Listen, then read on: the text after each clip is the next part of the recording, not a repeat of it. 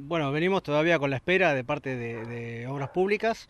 Eh, hace un par de días se comunicaron, nos indicaron que, en 15 días iba a haber eh, novedades con la licitación de la obra.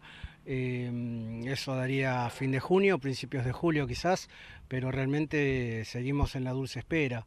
No hay, no hay nada concreto, no tenemos información oficial de parte de, ni del Ministerio de Educación de provincia ni de Infraestructura de provincia. La única justificación son los eh, temas burocráticos que, tienen internamente, eh, porque inclusive consulté si para la licitación ya se había hecho el estudio de suelo, que, en su momento saltó que no, no estaba, y la respuesta fue que, no, que no estaba hecho y que bueno, estaba incluido en esta nueva licitación.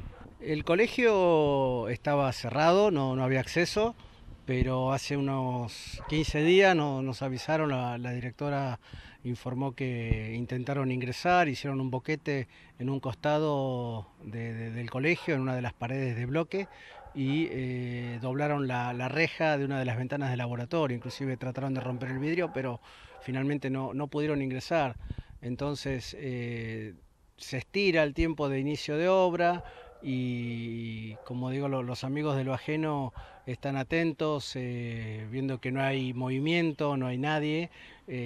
Ahora han puesto seguridad policial, guardia y creo que hasta un sereno.